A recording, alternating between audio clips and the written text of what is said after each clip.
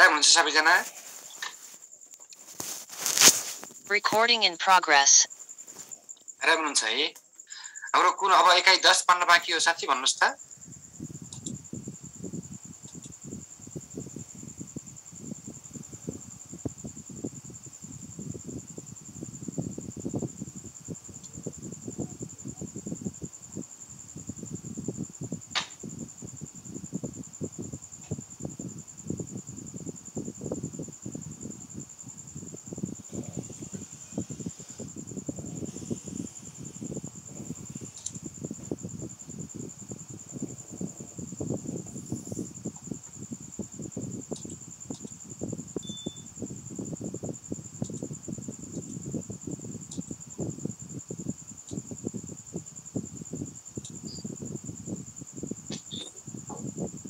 ल ठिक छ ल एकाइ दसमा छौँ आज। एकाइ दसमा छौँ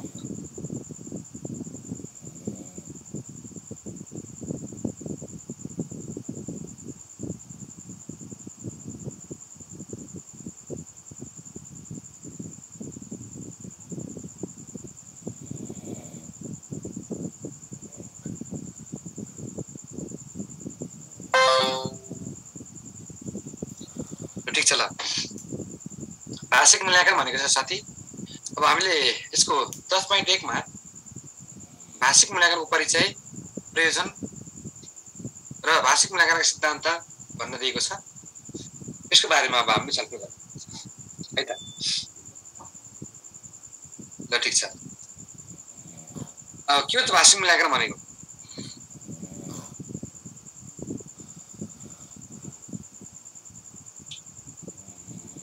हेर अब अब विशेष गरी भाषा पाठ्यक्रमले राखेका तगत सक्षमता अथवा कक्षागत सिकाइ उपलब्धि प्राप्तिको मूल्याङ्कन भाषिक मूल्याङ्कन भन्न सक्छौँ हामी।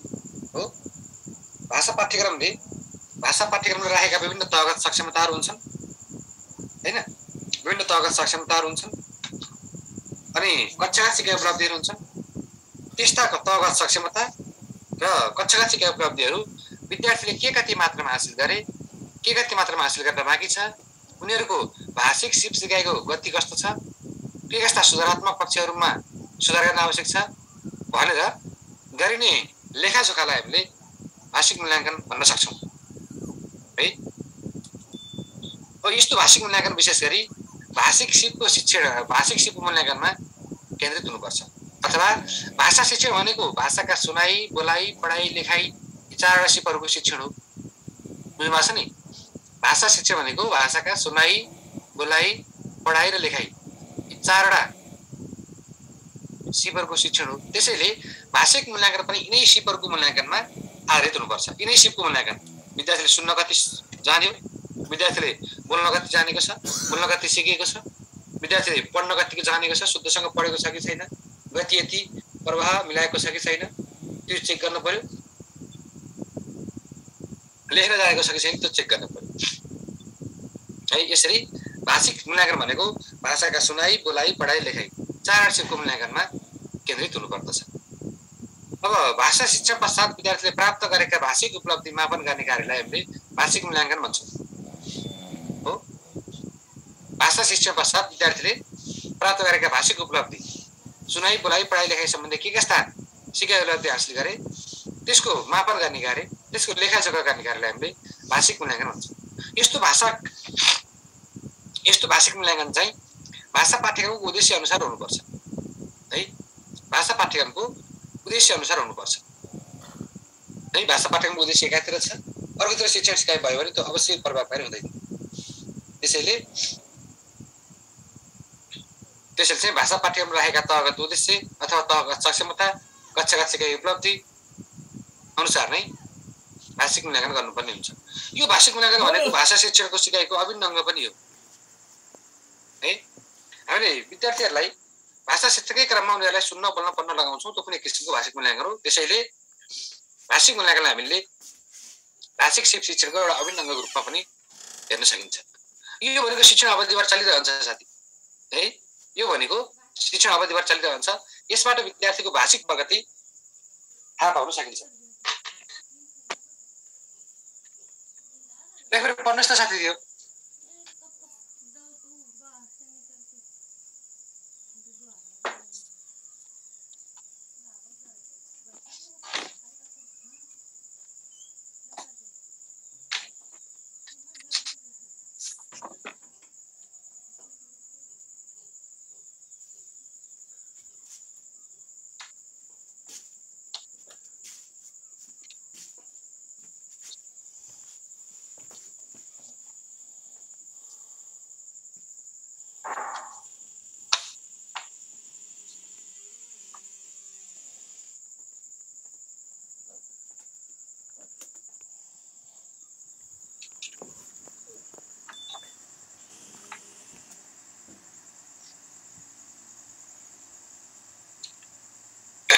ठिक छ ल. यसको बारेमा क्लियर हुन्छ है? अब यसको अब हामीले भाषिक मूल्याङ्कनको परिचयको बारेमा थोरै चर्चा गरौँ। अथवा यसको उद्देश्य पनि भन्न सक्छौँ हामी जस्तै। भाषिक मूल्याङ्कनको उद्देश्य अथवा आवश्यकता अथवा प्रयोजन पनि भन्न सकिन्छ। है?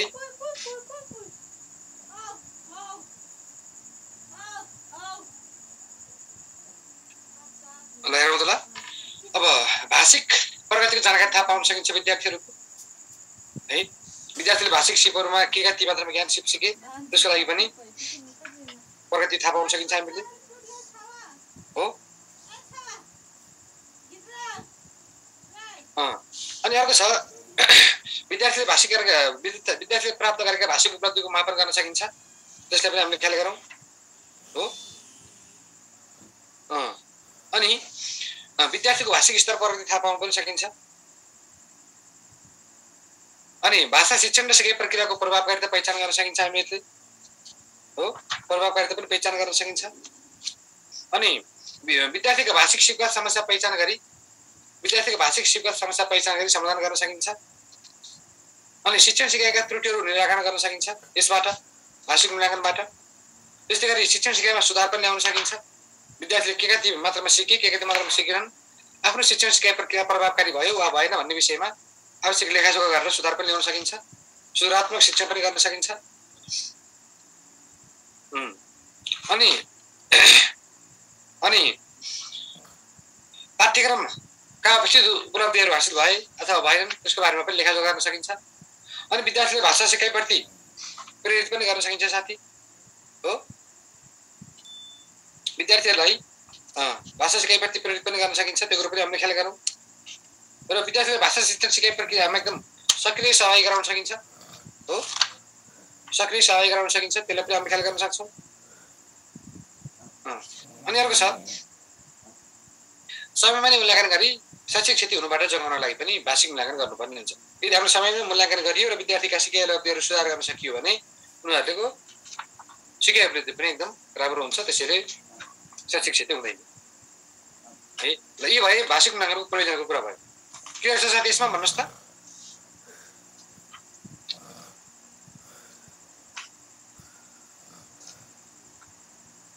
क्लियर छ साथी यसमा कमेन्ट गर्नुहोस् त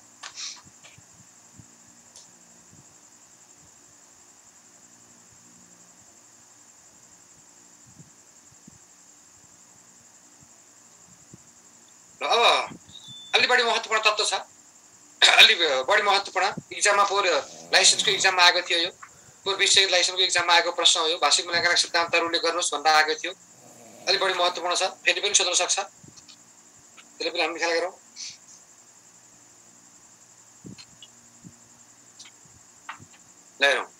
अब भाषिक मूल्याङ्कन भनेको म अहिले तपाईँलाई भनिसकेँ। भाषाका सुनाइ बोलाइ पढाइ र लेखाइ सिपहरूको मूल्याङ्कन हो। होइन? यस्तो भाषिक सिपको मूल्याङ्कन गर्दा केही सिद्धान्तहरूमा आधारित रहेर मूल्याङ्कन गर्नुपर्ने हुन्छ। है? ल हेरौँ त ल। अब नम्बर एकमा छ उद्देश्य अनुरूप मूल्याङ्कनको सिद्धान्त भनेको छ। नम्बर एकमा उद्देश्य अनुरूप मूल्याङ्कनको सिद्धान्त भनेको छ। भाषिक मूल्याङ्कनले भाषिक मूल्याङ्कनले भाषा पाठ्यमा राखेका तहगत सक्षमता अथवा कक्षागत सिकाइ उपलब्धि मूल्याङ्कन गर्नुपर्दछ। है भाषिक मूल्याङ्कन गर्दा तहगत सक्षमता पाठ्यक्रमका विभिन्न तहगत सक्षमताहरू छन्। है तहगत सक्षमताहरू छन्। अनि कक्षागत सिकाइ उपलब्धिहरू छन्। त्यस्ता तहगत सक्षमता अथवा कक्षागत सिकाइ उपलब्धि अनुसार नै। मूल्याङ्कन गर्नुपर्दछ यसबाट। पाठ्यक्रमका उद्देश्यहरू। है पाठ्यक्रम राखेका अपेक्षा गरेका उद्देश्यहरू के कति मात्रामा पुरा भए के कति मात्रामा पुरा भएन भनेर लेखाजोखा गर्न सकिन्छ। यसरी उद्देश्य अनुसार मूल्याङ्कन गर्दा विशिष्टीकरण तालिकाको पूर्ण प्रयोग गर्नुपर्ने हुन्छ। है विशिष्टीकरण तालिका विशिष्टीकरण तालिकाको पूर्ण रूपमा प्रयोग गर्नुपर्ने हुन्छ। त्यसलाई हामीले उद्देश्य अनुरूप मूल्याङ्कनको सिद्धान्त भन्न सक्छौँ। हो. अर्को छ? एक पटकमा? एक पटकमा एउटा मात्र पक्षको मूल्याङ्कनको सिद्धान्त भनेको छ। है? अब एक पटकमा एउटा मात्रै पक्ष भन्नाले एक पटकमा एउटा मात्रै सिपको मूल्याङ्कन भन्ने खोजेको हो। एक पटकमा एउटा मात्रै सिपको मूल्याङ्कन गर्नुपर्छ। है? एकै पटक भन्दा बढी सिप एकै प- ए- एकै पटकमा दुई वा सोभन्दा बढी सिपका मूल्याङ्कन गर्न खोजियो भने कुन सिपमा के कति मात्रामा विद्यार्थी दक्ष भए? त्यसको लागि थाहा पाउन गाह्रो हुनसक्छ। है त्यसैले जस्तो सुनाइ सिपको मूल्याङ्कन गर्ने हो विद्यार्थीहरूलाई। सुनाइ सिपसँगै क्रियाकलाप गर्न आउनु पर्यो है त्यसैले एक पटकमा एउटा मात्र सिपको मूल्याङ्कन गर्नुपर्ने हुन्छ दुईवटा सिपको हामीले एकैपटक मूल्याङ्कन गर्न खोज्यौँ भने कुन सिपको के कति मात्रामा विकास भयो भन्न हामीले थाहा नपाउन सक्छौँ। हो थाहा नपाउन सक्छौँ। त्यसलाई पनि हामीले ख्याल गरौँ है त. अब छ भाषिक सिपगत मूल्याङ्कनको सिद्धान्त भनेको तिन नम्बरमा हो। भाषिक सिपगत मूल्याङ्कनको सिद्धान्त भनेको छ। मैले तपाईँलाई अगाडि नै भनिसकेको छु भाषिक मूल्याङ्कन भनेको भाषाका सुनाइ बोलाइ पढाइ लेखाइ सिपको मूल्याङ्कन हो। है भाषिक मूल्याङ्कन भनेको। है अनि यसमा भाषिक सिपको मूल्याङ्कन नगरिकन विषयवस्तुको मूल्याङ्कनबाट विद्यार्थीहरूको भाषिक सिपको प्रगति थाहा पाउन सकिँदैन। है त्यसैले त्यसैले विद्यार्थीहरूको भाषिक मूल्याङ्कन गर्दा भाषिक सिपकै मूल्याङ्कन गर्नुपर्ने हुन्छ। विद्यार्थीहरूले चाहिँ त्यो प्रश्नको उत्तरको विषयवस्तु मिलास नमिलास त्यस्तोमा ठुलो कुरा भएन तर वाक्य एकदम शुद्ध हुनु पर्यो। है विषयवस्तु पूर्ण होस् नहोस् त्यो त्यति धेरै ख्याल गर्नुपर्ने विषय होइन तर विद्यार्थीले राम्रोसँग सुनेर सही प्रतिक्रिया दिन सक्नु पर्यो शुद्धसँग बोल्न सक्नु पर्यो स्पष्टसँग पढ्न सक्नु पर्यो। व्याकरणिक नियम अनुसार अथवा भाषाको मानक रूप अनुसार लेख्न सक्नु पर्यो। यस्तो भयो भने बल्ल विद्यार्थीको भाषिक प्रगति हुनसक्छ। है भाषिक प्रगति हुनसक्छ। है त?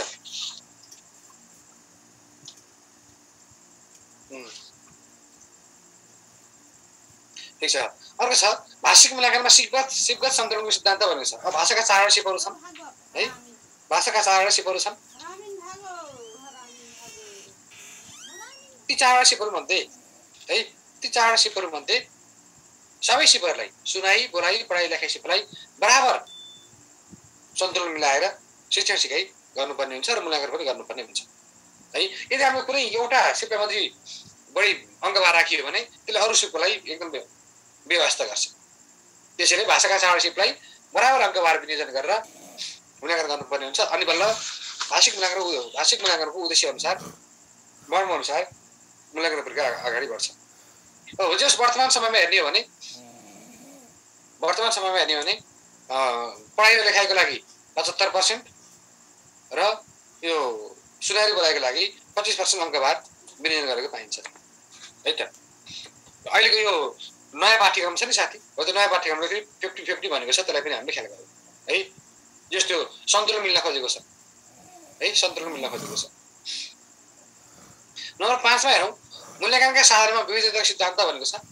है? मूल्याङ्कनका साधनमा विविधताको सिद्धान्त भनेको छ।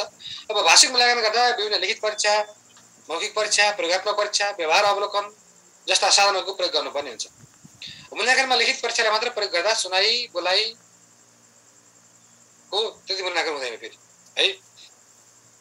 मूल्याङ्कनमा हामीले लिखित परीक्षालाई मात्र प्रयोग गर्दाखेरि सुनाइ बोलाइको कसरी मूल्याङ्कन गर्ने त्यो गाह्रो हुनसक्छ त्यसैले आवश्यकता अनुसार मौखिक परीक्षा पनि लिनुपर्ने हुन्छ प्रयोगात्मक परीक्षा पनि लिनुपर्ने हुन्छ व्यवहार अवलोकन पनि गर्नुपर्ने हुन्छ। त्यसैले भाषिक मूल्याङ्कन गर्दा मूल्याङ्कनका साधनमा चाहिँ विविधता ल्याउनुपर्ने हुन्छ। यसका साथसाथै निरन्तर विद्यार्थी मूल्याङ्कनका साधनहरूको पनि प्रयोग गर्नुपर्ने हुन्छ। है यसका साथसाथै निरन्तर विद्यार्थी मूल्याङ्कनको पनि प्रयोग गर्नुपर्ने हुन्छ।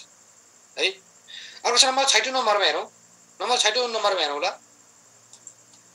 भाषिक सिपको आधारमा भाषिक सिपको आधारमा भाषा तत्त्व मूल्याङ्कनको सिद्धान्त भनेको छ। है अब हामीले विद्यार्थीले भाषिक सिपको मूल्याङ्कन गर्दा उनीहरूले त्यो राम्रोसँग बोल्न जानेको छ कि छैन? व्याकरणिक एकाइहरू मिलाएको छ कि छैन? पद सङ्गत मिलाएको छ कि छैन? पदकर मिलाएको छ कि छैन? त्यसलाई पनि ख्याल गर्नुपर्ने हुन्छ। त्यसै गरी लेखाइका क्रममा पनि मानक नेपाली व्याकरणको प्रयोग गरेको छ कि छैन? भाषाको शुद्धको प्रयोग के कस्तो गरेको छ? त्यसको पनि मूल्याङ्कन गर्नुपर्ने हुन्छ कि? त्यसलाई हामीले भन्छौँ भाषा तत्त्व यानि कि व्याकरण। है यानि कि व्याकरण। यसैले विद्यार्थीहरूको भाषिक सिपको मूल्याङ्कन गर्दा पदकर्म पद सङ्गति वाक्य गठन लिङ्ग वचन काल भाव पुरुष वाच्य वाच्य ध्रुवीयता जस्ता पक्षहरू मिलेका छन् कि छैनन्? त्यो कुराको पनि तत्काल मूल्याङ्कन गर्नुपर्ने हुन्छ। त्यो किनकि भाषासँगै जोडेर आउने विषय हो नि त। व्याकरण भनेको त अथवा भाषाको तत्त्व भनेको त भाषाभित्रै अन्तर्निहित संरचना हो। भाषाभित्रै जोडिएर आउँछ। जहाँ भाषाको प्रयोग हुन्छ त्यहाँ व्याकरण अटोमेटिक आइहाल्छ। त्यसैले भाषिक मूल्याङ्कन गर्दा भाषिक मूल्याङ्कन गर्दा व्याकरणिक पक्षहरूको पनि मूल्याङ्कन गर्नुपर्ने हुन्छ। है? अर्को छ नम्बर सातमा हेरौँ। नम्बर सातमा मूल्याङ्कनीय सिप र तरिकाको सिद्धान्त भनेको छ। मूल्याङ्कनीय सिप र तरिकाको सिद्धान्त भनेको छ। अब भाषिक मूल्याङ्कनमा मूल्याङ्कनीय सिप र तरिका बिस्तारै पनि मिल्नुपर्ने हुन्छ। जस्तो हामीले विद्यार्थीहरूलाई सुनाइ सिपको मूल्याङ्कन गर्नका लागि बोल्न लगाएर हुँदैन। बुझ्नु भएको छ नि? सुनाइ सिपको मूल्याङ्कन गर्नका लागि बोल्न लगाउनु हुँदैन। हो? बोल्न लगाउनु हुँदैन। लेखा सिपको मूल्याङ्कन गर्नका लागि विद्यार्थीलाई अनुलेखन श्रुति लेखन वस्तु घटनाको वर्णन यात्रा वर्णन अनुभव वर्णन सारांश लेखन व्याख्या लेखन बुझा रिपोर्ट निबन्ध लेखन प्रतिवेदन लेखन जस्तो विभिन्न क्रियाकलाप गराउनुपर्छ यस्ता क्रियाकलापहरूमा विद्यार्थीले भाषाको शुद्ध रूपको के कति मात्रामा प्रयोग गरेका छन् त्यसको पनि लेखाजोखा गर्नुपर्ने हुन्छ। तर बुढाइसिपको मूल्याङ्कन गर्नका लागि है तर बुढाइसिपको मूल्याङ्कन गर्नका लागि विद्यार्थीहरूलाई वर्णवेदीकरण श्रुति लेख श्रुति रचना जस्ता क्रियाकलाप गराउनु हुँदैन। किनकि तालमेल मिलेन क्या त्यहाँ। सिप एकातिर भयो तरिका अर्को थरी भयो। त्यही भएर हामीले जुन सिपको मूल्याङ्कन गर्नुपर्ने हो त्यस्तै खालका उपयुक्त हुने खालका क्रियाकलापहरू गराउनुपर्छ। यसबाट पनि भाषिक मूल्याङ्कन प्रभावकारी हुनसक्छ। र अर्को छ योजनाबद्धको सिद्धान्त भनेको छ अर्को। योजनाबद्धताको सिद्धान्त भनेको छ। है त्यसलाई पनि हामीले ख्याल गरौँ।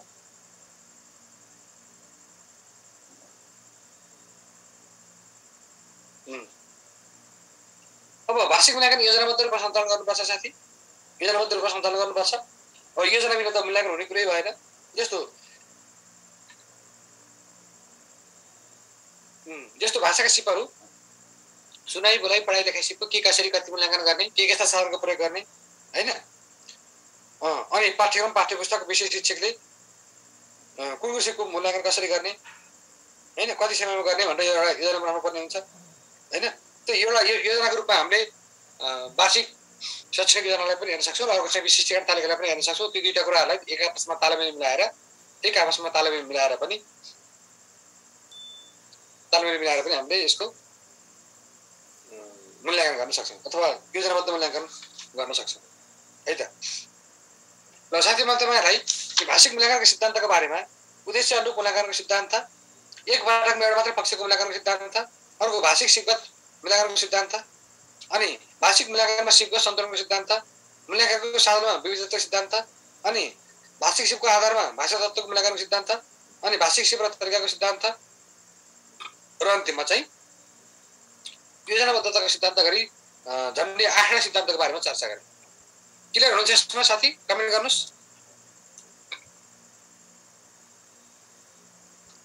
क्लियर हुनुहुन्छ?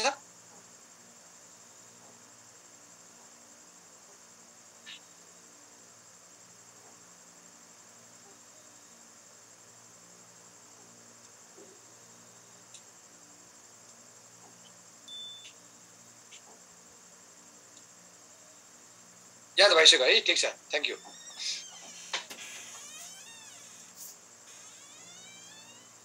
साथी एकपल्ट भिडियो गर्नुहोस् त सबैले। सबैले भिडियो गर्नुहोस् त।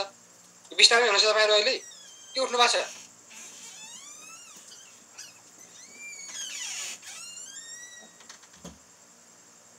उठ्नु भएको छ नि है।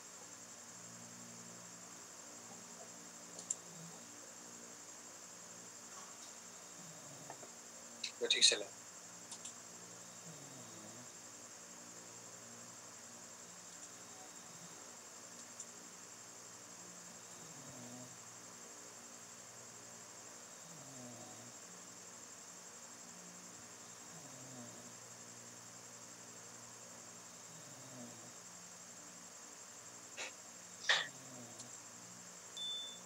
अब हामीले हेरौँ भाषिक मूल्याङ्कनको वर्तमान अवस्था कस्तो छ त?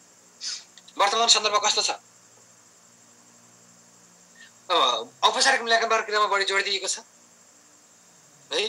अर्धवार्षिक परीक्षा अथवा वार्षिक परीक्षालाई बढी जोड दिएको छ तर भित्र यो निरन्तर विद्यार्थी मूल्याङ्कनलाई कक्षा कार्य गृह कार्य यस्ता उपलब्धि परीक्षालाई बढी जोड दिएको छैन। त्यो पनि हामीले ख्याल गर्न सक्छौँ। अनि विषयवस्तु केन्द्रित मूल्याङ्कन प्रणाली छ अङ्कन प्रणालीमा बढी झुकाव देखिएको छ। है? अङ्कन प्रणालीमा बढी झुकाव देखिएको छ। अनि वस्तुगत प्रश्नहरूको सीमित प्रयोग गरिएको छ साथी। है? अनि मूल्याङ्कनमा पनि भाषिक सिपको सन्तुलन मिलाउन सकिएको छैन। हो? मूल्याङ्कनमा पनि भाषिक सिपको सन्तुलन मिलाउन सकिएको छैन। अनि निरन्तर र औपचारिक मूल्याङ्कनको अभाव रहेको छ। हो? निरन्तर र औपचारिक मूल्याङ्कनको अभाव रहेको छ। यो कुरो पनि हामीले ख्याल गरौँ। अनि मूल्याङ्कनमा मूल्याङ्कनमा लेखाइ र व्याकरण पक्षलाई बढी जोड दिएको पाइन्छ। हो? मूल्याङ्कनमा लेखाइ प्रक्रिया र त्यसको व्याकरणलाई बढी जोड दिएको पाइन्छ। अनि यस पाठ्यक्रममा पूर्ण रूपमा पाठ्यक्रमको सक्षमता अनुरूप मूल्याङ्कन गर्न सकिएको छैन। हो?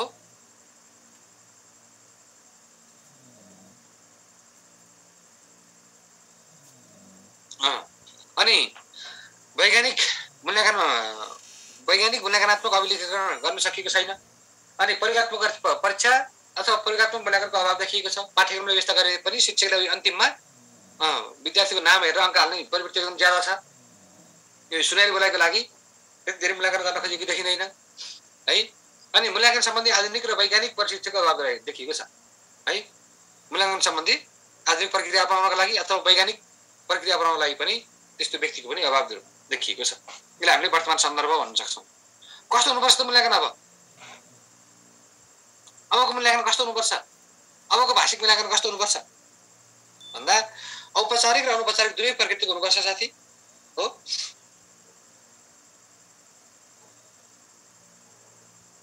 औपचारिक र अनौपचारिक दुवै प्रकृतिको भाषिक मूल्याङ्कन हुनुपर्छ। अनि भाषिक सिपगत मूल्याङ्कन गर्नुपर्ने हुन्छ विषयवस्तुगत होइन। भाषाका सुनाइ बोलाइ पढाइ लेखाइ चारवटा सिपमा केन्द्रित रहेर चारवटा सिपमा केन्द्रित रहेर मूल्याङ्कन गर्नुपर्ने हुन्छ। त्यसलाई पनि हामीले ख्याल गर्न सक्छौँ। हो?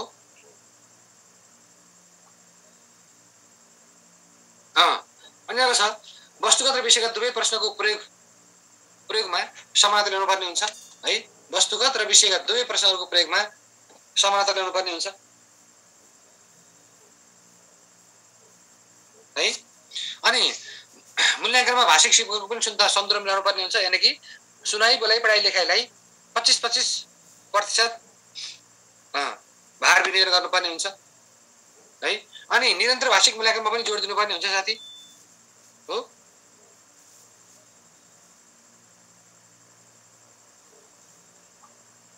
त्यसै साथसाथै मूल्याङ्कनमा बोध अभिव्यक्ति तथा व्याकरणिक पक्षलाई पनि समानुपातिक रूपले जोड दिनुपर्ने हुन्छ। है बोध अभिव्यक्ति र व्याकरणिक पक्षलाई पनि समानुपातिक रूपले सबैलाई बराबर पर्ने गरी जोड दिनुपर्ने हुन्छ। अनि पाठ्यक्रमको सक्षमता अनुसु- अनु- अनुसार नै मूल्याङ्कन गर्नुपर्ने हुन्छ साथी। हो पाठ्यक्रमको सक्षमता अनुरूप नै मूल्याङ्कन गर्नुपर्ने हुन्छ। अनि वैज्ञानिक मूल्याङ्कन प्रणाली र त्यसको अभिलेखीकरण गर्नुपर्ने हुन्छ साथी। है वैज्ञानिक मूल्याङ्कन प्रणाली र त्यसको अभिलेखीकरण गर्नुपर्ने हुन्छ। त्यसलाई पनि हामीले ख्याल गरौँ। अनि प्रयोगात्मक परीक्षालाई कार्यान्वयन बनाउनु पर्ने हुन्छ। हो? प्रयोगात्मक परीक्षालाई बढीभन्दा बढी कार्यान्वयन बनाउनु पर्ने हुन्छ। अनि मूल्याङ्कनमा वैज्ञानिक अवधारणा पनि प्रयोगमा ल्याउनु पर्ने हुन्छ। है? अनि मूल्याङ्कनका ती सिद्धान्त छन् नि हामीले पढेको आठवटा सिद्धान्त। हो त्यो आठवटा सिद्धान्तलाई पूर्ण रूपमा प्रयोगमा ल्याउनु पर्ने हुन्छ। अनि बल्ल मूल्याङ्कन भाषिक सिप सिकाइ मात्रै अथवा विषय विषय केन्द्रित हुनसक्छ सिप केन्द्रित हुनसक्छ। है त? ल प्रश्न हुनुहुन्छ यहाँसम्म साथी कमेन्ट गर्नुहोस्। क्लियर हुनुहुन्छ?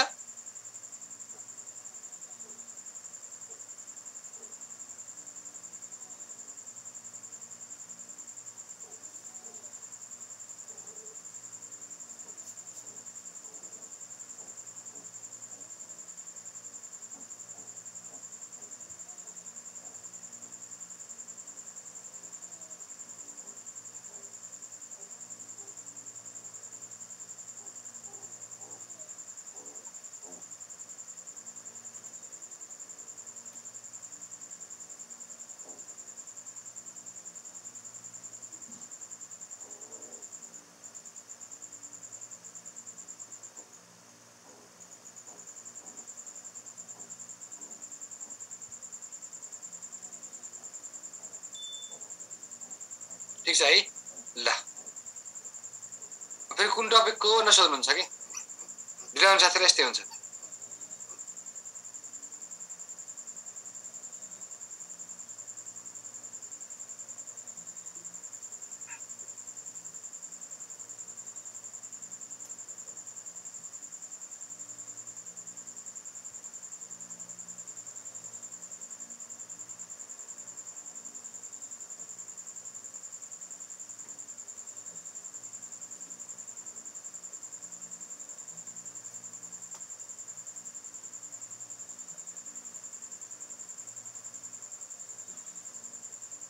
छ है अब मूल्याङ्कनका तरिका अथवा साधनको बारेमा चर्चा गरौँ मूल्याङ्कनका तरिका अथवा साधन है त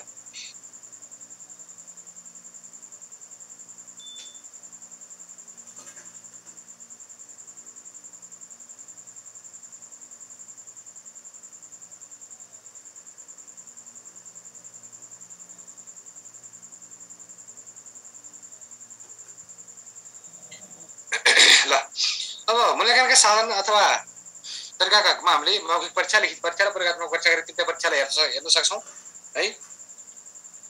मौखिक परीक्षा लिखित परीक्षा र प्रयोगत्मक परीक्षा गरी तिनवटा विषयवस्तु हेर्न सक्छौँ हामीले। हेरौँ त ल मौखिक परीक्षा भने नम्बर एकमा है? र विद्यार्थीहरूको श्रवण क्षमता अथवा मौखिक अभिव्यक्ति सिपको लेखाजोखा गर्नका लागि मौखिक परीक्षा बढी उपयोगी मानिन्छ है? विद्यार्थीले मौखिक रूपमा नै प्रश्न सोध्ने र मौखिक रूपमा नै उत्तर दिन लगाउने खालका प्रश्नहरूलाई हामीले मौखिक परीक्षा भन्न सक्छौँ। हो? विद्यार्थीको मौखिक अभिव्यक्तिको मापन गर्नका लागि मौखिक रूपमा नै प्रश्न सोध्ने र मौखिक रूपमा नै उत्तर दिने गरी सञ्चालन गर्ने परीक्षालाई हामीले सञ्चालन गर्ने परीक्षालाई के भन्न सक्छौँ? मौखिक परीक्षा हुन सक्छौँ। यसमा विद्यार्थीलाई मौखिक रूपमै प्रश्न सोधी मौखिक रूपमै उत्तर दिन लगाइन्छ। है? मौखिक रूपमै प्रश्न सोध्ने र मौखिक रूपमा नै उत्तर दिन लगाइन्छ यसमा। अनि यसबाट विद्यार्थीहरूको विशेष गरी सुनाइ र बोलाइ सिपको मूल्याङ्कन गर्न सकिन्छ। बुझ्नुभएको छ? यसबाट विद्यार्थीहरूलाई सुनाइ र बोलाइ सिपको मूल्याङ्कन गर्न लगाउन सकिन्छ। अब यस अन्तर्गत विद्यार्थीहरूले विशेष गरी कथा कथन श्रुतिबोध श्रुति कथन श्रुति उच्चारण अनुभव वर्णन लगायतका क्रियाकलाप गराउनु पर्ने हुन्छ। यानि कि उनीहरू मौखिक क्रियाकलापमा प्रत्यक्ष सहभागी हुने खालका क्रियाकलाप गराउनु पर्ने हुन्छ।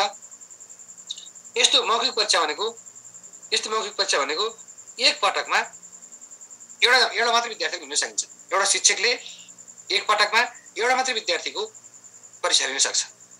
है? अनि यो परीक्षा भनेको समय साधन र स्रोतका दृष्टि- दृष्टिकोणले बढी खर्चिलो पनि देखिन्छ साथी फेरि। बुझ्नु भएको छ? समय स्रोत र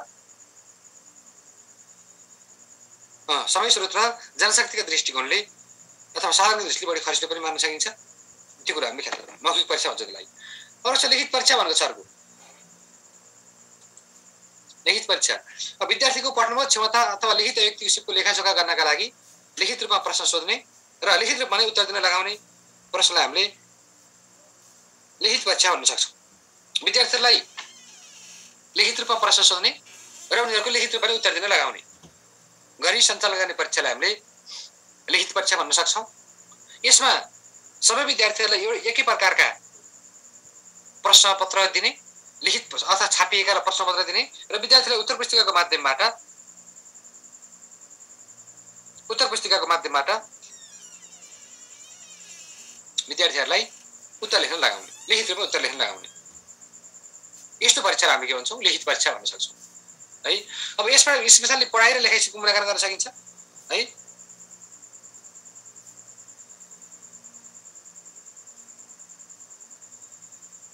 यसबाट यसबाट के गर्न सकिन्छ। विद्यार्थीको पढाइ र ले- लेखाइ सिपको मूल्याङ्कन गर्न सकिन्छ। अब यस अन्तर्गत विशेष गरी पठनबोध बुदा अनि सारांश लेखन भाव विस्तार अनुच्छेद रचना स्वतन्त्र रचना चिठी लेखन विवेचनात्मक उत्तर निबन्ध लेखन जस्ता विभिन्न खालका प्रश्नहरू सोध्न सकिन्छ। यो भनेको समय स्रोत र समय स्रोत र साधनको दृष्टिले कम खर्चले पनि मानिन्छ। यसमा स्पेसल्ली विषयगत प्रश्न है? विषयगत प्रश्न र वस्तुगत प्रश्न गरी दुई प्रकारका प्रश्नहरू समावेश हुन्छन्। है त्यसको बारेमा हामी एकछिनपछि चर्चा गरौँला।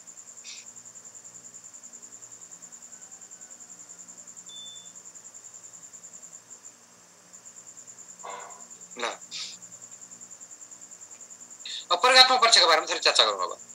प्रयोगात्मक परीक्षा। अब विशेष गरी विद्यार्थीको भाषिक सिपगत व्यवहारको अवलम्बन गरी लिने परीक्षा भनेको प्रयोगात्मक परीक्षा हो। है?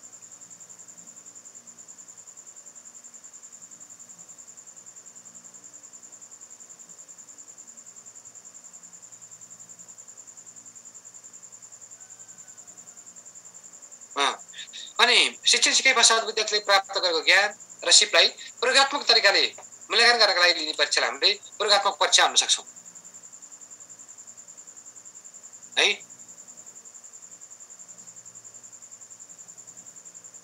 सर यो युनिट पछि व्याकरण पढाउनु है। व्याकरण पढेको छैन। म त ढिलो जोइन भएको अरे। तपाईँ ढिलो जोइन हुनु अन्त कसले भन्यो सङ्गीताजी? छिटै जोइन हुनु सुरुदेखि पढ्नु भने तपाईँलाई सुरुदेखि नै। छिटै जोइन गर्नु साथी पछि टपिक छुट्छ ढिलो जोइन हुँदाखेरि सुरुबाट क्लास जोइन गर्नु पढ्नु एक दिन पनि नछुट्नु भने होइन। छुट्छ नि ढिलो आउने साथीहरूको। समयमा जोइन गर्नु पर्ने साथी। अन्तिममा आउने अनि सबै कुरा पढ्न खोजेर पाइन्छ त नि। रिजल्ट किन कोर्ने? यदि तिसवटा मिलेको छ भने त स्वतः नाम निस्किन्थ्यो त। किन कोर्ने रिजल्ट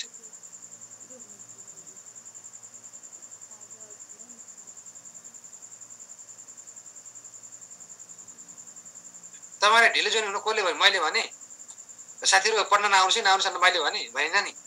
पढ्न आउनुहोस् है साथी आउनुहोस् है मैले त भने भने लाइभमा आएर पनि भनेको थिएँ पढ्न आउनुहोस् भन्दै। तपाईँहरू आउनु भएन।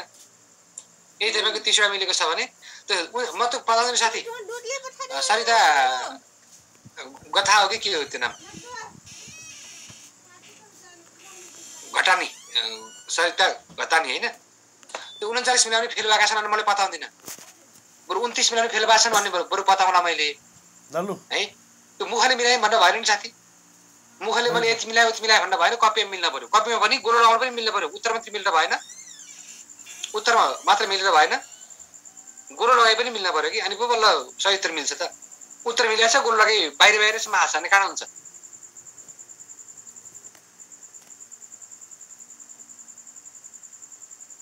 मुखले उन्चालिस मिलाएँ।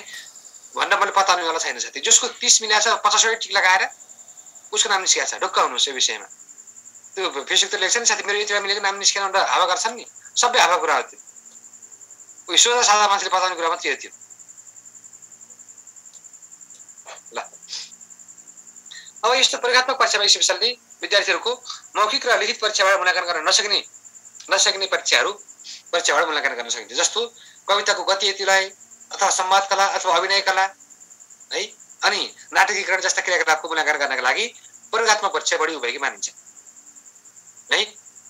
त्यस्तै गरी विद्यार्थीको प्रासङ्गिक भाषिक प्रयोग क्षमता अथवा परिस्थितिगत समय यो भाषिक प्रयोग कुशलता तथा भाषाका विविध कलात्मक पक्ष प्रयोगात्मक पक्ष जस्ता विभिन्न विभिन्न विषयवस्तुहरूमा हामीले यो प्रयोगात्मक परीक्षाको मूल्याङ्कन गर्न सकिन्छ। यसका साथसाथै उच्चारणका शुद्धता र स्पष्टताका लागि पनि यी- स्पष्टताको परीक्षणमा पनि स्पष्टताको परीक्षा परीक्षणमा पनि हामीले यस्तो प्रयोगात्मक परीक्षाको मूल्याङ्कन गर्न सक्छौँ। है प्रयोगात्मक परीक्षाको मूल्याङ्कन गर्न सक्छौँ। यसमा स्पेसल्ली प्रयोगात्मक परीक्षामा विद्यार्थीहरूको अवलोकन है विद्यार्थीहरूमा हामीले अवलोकन अनि यस्तो जाँसूची अनि श्रेणीमापक जस्ता साधनहरूको प्रयोग गर्न सकिन्छ। है? ल।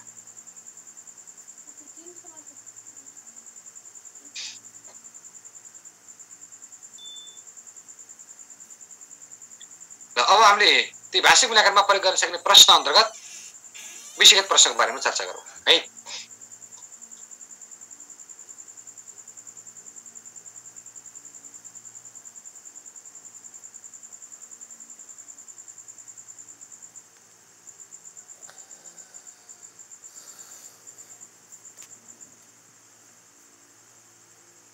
ठिक छ। अब यो युनिट सकौँ। यो युनिट सकेपछि कति समय बाँकी रहन्छ? हामीले तिन युनिटमै तिन युनिटमै त्यो व्याकरण खण्डमा नै समय बिताउला हुँदैन तपाईँले पढ्नु मात्रै पऱ्यो नि त तपाईँले पढ्न इन्ट्रेस्ट राख्नु पऱ्यो नियमित रूपमा आउनु पऱ्यो हामी तिन सयजना विद्यार्थी अहिले यहाँ दुई सय चालिसजना मात्रै छौँ कतिजनामा तपाईँहरू साठीजना खै कतिजना कता हराउनु भयो कहिले कता तिन सय तिसजनासम्म भएको थियौँ हामी अनि बिच बिचमा हराउने तपाईँहरू अनि सर मेरो क्लास छुट्यो यो दिनको छुट्टीहरू बिचमा पढाउनु मैले पढाउँछु त नियमित रूपमा आउनु पऱ्यो नि त पढ्ने मान्छे त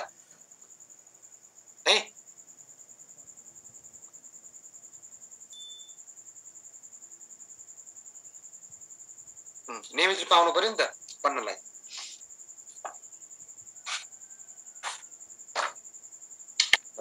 विषय प्रश्नको बारेमा थोरै हेरौँ अब अब विद्यार्थीहरूको मौलिक क्षमता सृजनशील क्षमता अथवा सङ्गठनात्मक क्षमताको सङ्गठनात्मक क्षमताको मापन गर्नका लागि सङ्गठनात्मक क्षमताको मापन गर्नका लागि